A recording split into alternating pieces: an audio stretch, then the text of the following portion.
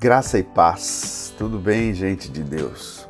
Um dos textos mais conhecidos do Evangelho certamente é o texto de João, capítulo 3, versículo 16, que diz que Deus amou o mundo de tal maneira que deu seu Filho unigênito para que todo aquele que nele crê não pereça, mas tenha a vida eterna.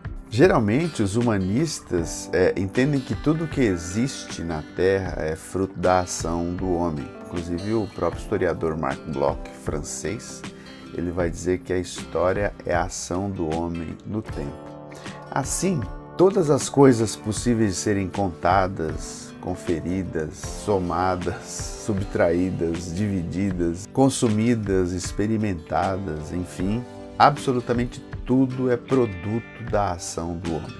Mas para nós cristãos, a Bíblia é a palavra de Deus. E como disse o reverendo Martin Lloyd Jones, a gente conhece o pastor Lloyd Jones por conta da PES, Publicações Evangélicas Selecionadas, que foi estabelecida pelo missionário Bill Barclay, que nos deixou há não muito tempo. Lloyd Jones diz o seguinte: o Evangelho não é filosofia humana, não é ideia do homem, nem resultado do esforço e da pesquisa do homem. É a revelação daquilo que Deus pensa e diz a respeito da vida nesse livro aqui, Mensagem para Hoje. Quando Jesus diz que Deus amou o mundo, ele o fez de forma prática, porque o amor exige prática. Exige sacrifício, exige ação, exige atitude. E que ação foi essa? Deus deu seu filho. E a exigência de Deus é que creiam naquele que ele enviou. Então, se por um lado Deus deu seu filho, ele exige que os homens creiam naquele que ele enviou. Ora, se a ação de Deus é prática, porque ele dá Jesus para a gente, ele entrega Jesus para ser morto em nosso lugar, ele exige de nós também uma atitude prática de crer. Deus exige que nós coloquemos fé naquilo que ele fez. Bom, a morte de Jesus é um fato histórico revelado nos evangelhos e crer nesse sacrifício feito pelo Filho de Deus naquela cruz tem efeitos práticos também.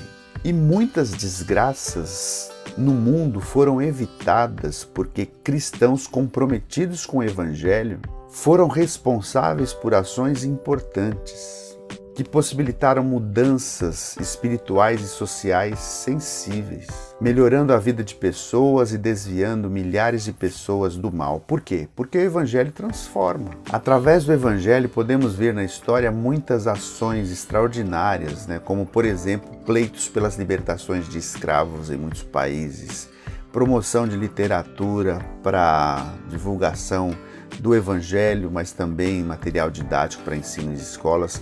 As próprias escolas inglesas, nas escolas bíblicas dominicais que foram fundadas por Hakes, as reformas prisionais, a promoção de emprego. E se a gente se debruçasse assim um pouquinho mais sobre a vida de John Wesley, por exemplo, e George Miller, veríamos as ações extraordinárias que Deus promoveu através da vida dessas duas pessoas tão importantes no século XVIII.